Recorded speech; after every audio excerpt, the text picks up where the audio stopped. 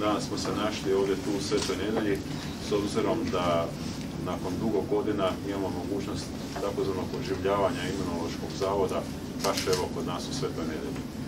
Možda smo u zadnje vrijeme poznati po privatnim inicijativama i privatnim investicijama, no i državne investicije su također dobro došle kod nas.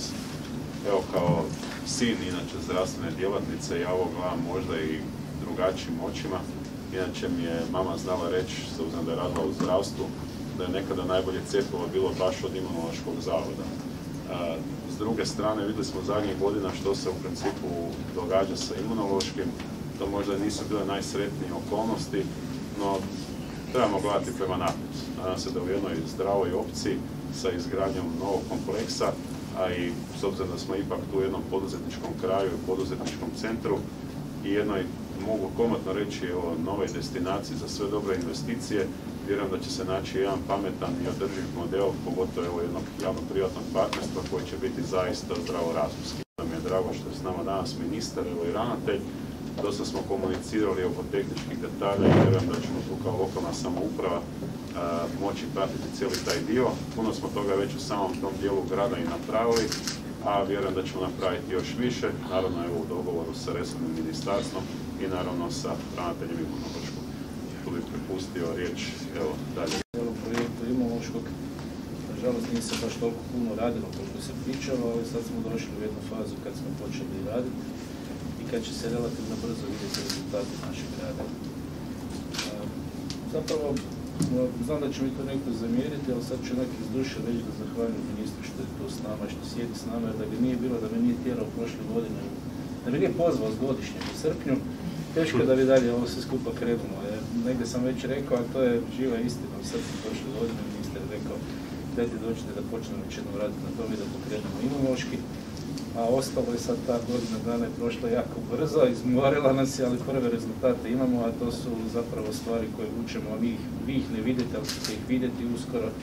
To su paralelni poslovi koje radimo na više kolosijeka, to su sve takozvane pripremne radnje koje su nužne da se da se riješi ovaj status imunološkog, da se, a ministar je mislim to jučer negdje bilo objavljeno, rekao da po, članku 551 se društvo gasi, ostaje ustanova, Republika Hrvatska prenosi imovinu, ali i obveze na sebe, a koje su skoro pa kao i imovina. I onda nakon toga ostaje jedna glava i ta jedna glava onda mora biti dovoljno pametna i sposobna da to sve skupa za zdravo izguramo.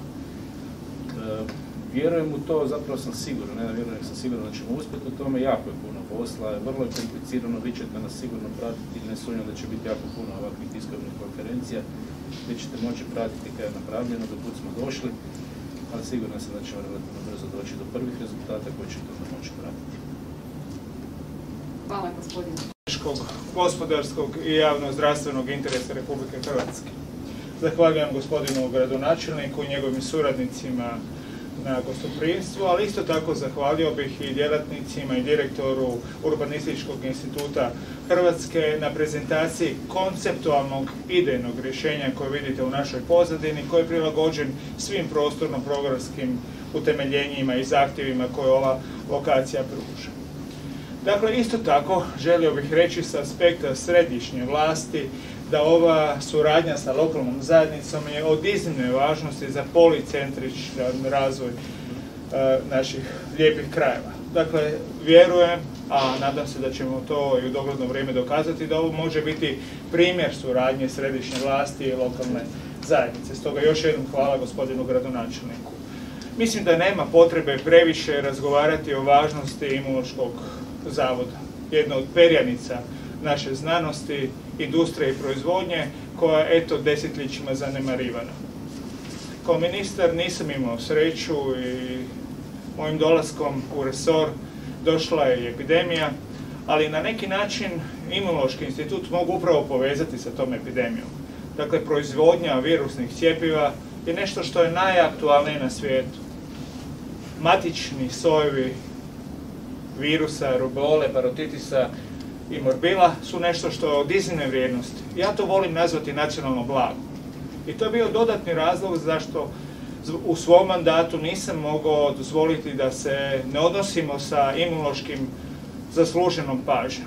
Da, pokrenuo sam razgovore i inicijativu da se nešto učini po tom pitanju, međutim, to je bio moj zadatak.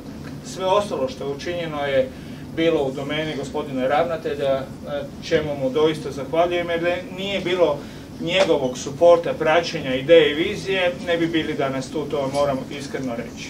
Ali srećom imamo ljude koji imaju viziju, imamo ljude koji mogu utemeljiti ta naša na neki način planiranja i doista vjerujem da ćemo realizirati ovaj projekt na dobrobit hrvatskog naroda i na dobrobit hrvatske države.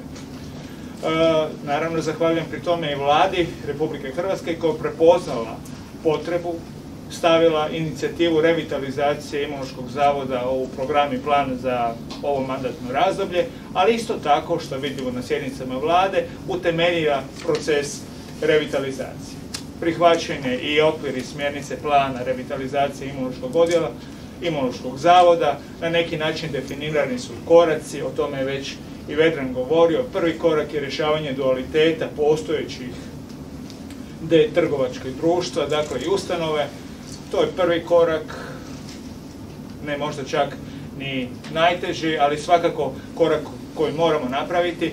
Nadalje, u drugoj fazi bi izgradili samu tvornicu, a u trećoj fazi moramo osigurati proizvodnju koja bi bila na neki način i financijski isplativa. Mislim da je sa aspekta lokalne zajednice dolazak ovako visoke tehnologije koja visoko akumulira kapital i producira proizvodima, strateškim proizvodima koji imaju vrijednost na međunarodnom tržištu je svakako dobrodošlo. Evo ga, da ne duljim dugo, sa ovim riječima želio bih zahvaliti svima koji su sudjelovali do sada u procesu. Znamo da je pred nama još puno koraka i puno rada i ispričavam se svojim suradnicima na mom nešto malo bržem tempu jer nema sastanaka koji su svakih dva tjedna ili svakih mjesec dana, vrijeme nam prebrzo ide, dakle sastanci o ovoj temi su svaki tjedan, bez obzira bio u mogućnosti osobno ili ne. Stoga zahvaljujem svima njima koji se trude da ovaj projekt uspije i vjerujem da će on uspjeti na dobrobit Republike Hrvatske i naših građana.